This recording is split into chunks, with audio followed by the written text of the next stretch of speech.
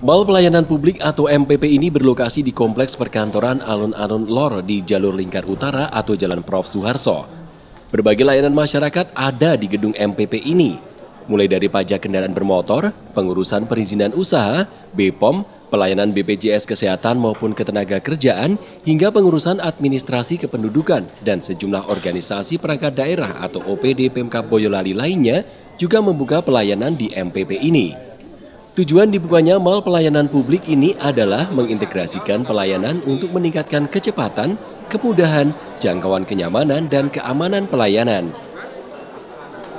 Mas, dengan adanya mal pelayanan publik ini gimana tanggapannya, Mas? Ya, saya senang, sangat senang luar biasa ya karena uh, mempermudah untuk pelayanan publik gitu loh. Jadi saya nggak usah harus ke mana-mana, sini sudah lengkap.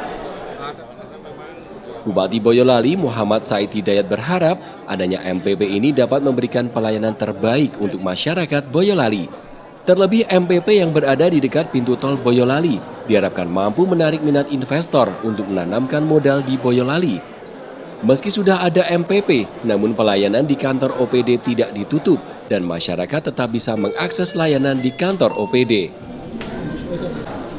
Harapan kami dengan hari ini dibuka dan tadi juga sudah kita lihat secara langsung beberapa sudah sudah langsung melayani masyarakat.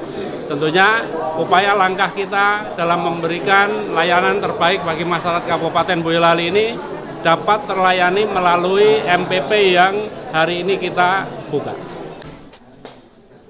Haryadi, Jogja TV